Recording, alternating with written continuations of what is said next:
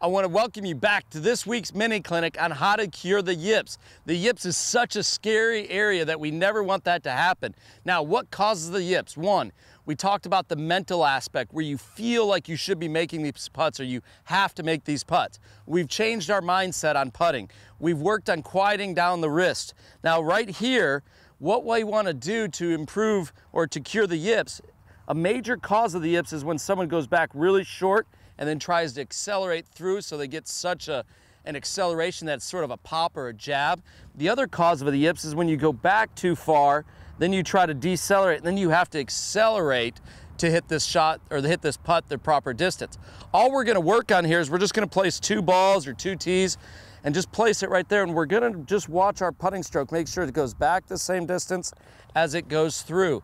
If we can get our stroke to be matching from short distance, same distance back, same distance through.